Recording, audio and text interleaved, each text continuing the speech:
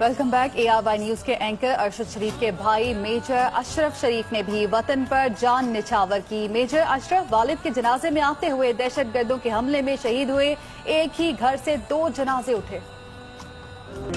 Major doctor Ashraf Sharif Bannu में फराइज अंजाम दे रहे थे। घर से वालिद के इंतकाल की खबर आई। 9 मई 2011 को वालिद के जनाजे को कांधा देने इस्लामाबाद जा रहे थे कि दहशत गर्दों से सामना हो गया।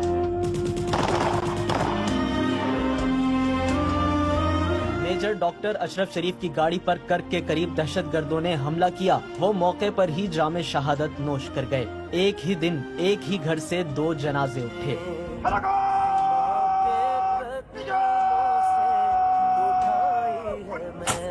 शहीद major Ashraf Sharif ARY news के senior anchor person Arshad Sharif के भाई थे। अरशद शरीफ ने एक ही दिन वालिद और भाई दोनों को खो दिया।